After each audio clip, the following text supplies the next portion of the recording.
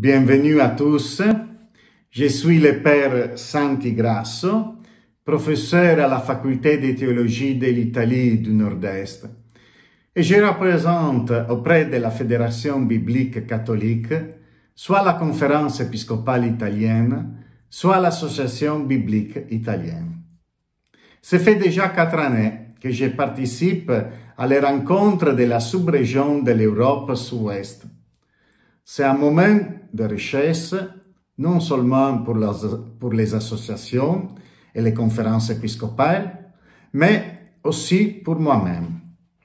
On vient à connaissance de différentes initiatives et de plans pastoraux qui sont centrés dans la Bible et qui sont organisés par les autres associations bibliques d'Europe. La multiplicité des idées et la créativité de chaque nation servent pour trouver de nouvelles routes pour une nouvelle évangélisation qui ne peut pas se réaliser sans être fondée dans la Bible.